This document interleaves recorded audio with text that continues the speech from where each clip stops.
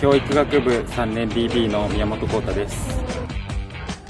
受験期の過ごし方は、えー、高3の春に部活を引退してからそれからずっと勉強していました。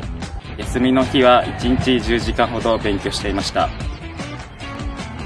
受験期の息抜きは、えーと、自分は学校で勉強していることが多かったので友達と一緒に会話するのが受験期の息抜きでした。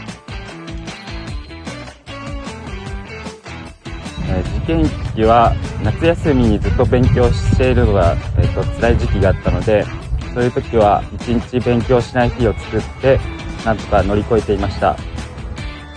自分は高校でもアメフトをやっていたんですが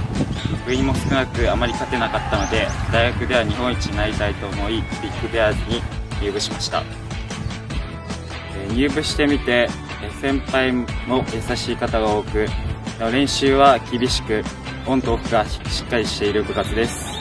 え受験生の皆さん勉強大変だと思いますが目標に向けて頑張ってください。一緒にビッグベアーズでアメフトやりましょう。